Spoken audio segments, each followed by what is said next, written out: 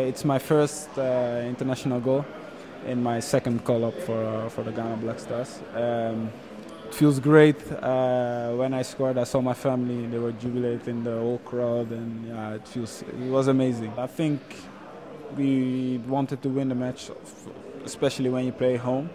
Um, yeah, but one-one is better than losing the game. I'm never happy after the match. It can always be better. Um, I mean, I'm happy that I scored my first international goal. That's that's on my mind right now. Um, of course, I will analyze the match with my my father. Does that for me all the time. So yeah, then I'll be able to say if I reach my level, yes or no. But for now, I'm really happy that I scored my international goal and happy that we didn't lose at home. Yeah, I hope in the future we can go to a World Cup. I can play on a World Cup with, with the guys. Yeah, I want to congratulate uh, Egypt, of course, for, for going to the World Cup. I think uh, they worked hard for it.